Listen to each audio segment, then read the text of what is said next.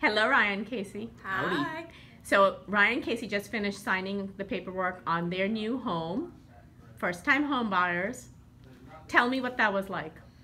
Uh, emotional roller coaster, a whirlwind of basically trying to find the house we were living in somewhere else as close as possible, and then we buy our house. So God's grace. happy. Oh yes. Perfect. What advice do you have for first time home buyers? Be patient and uh, don't get. Try not to get too stressed out. You will, but don't get too stressed out. Don't fall in love with a house. Don't fall in love with a house is Scroll really good away advice. money like nobody's business. Yeah. Save money.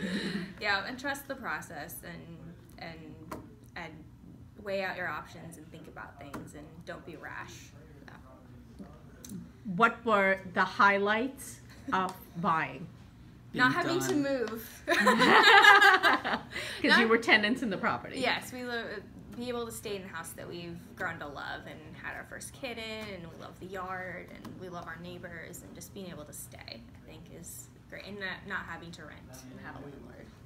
What and and the negative points, of course, were just going through the stress of it. Going through the stress and the contingencies and not knowing are we moving, are we not?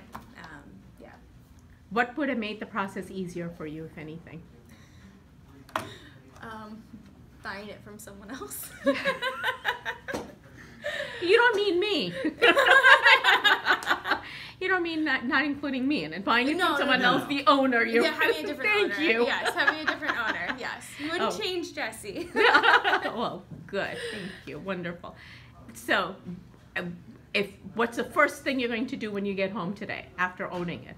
Uh, what are we gonna do? So I have measured some walls to, to knock out already, I'm, but uh, I'm I'm gonna gonna keep him from knocking bit. down walls. You're probably go, we're gonna buy a weed whacker.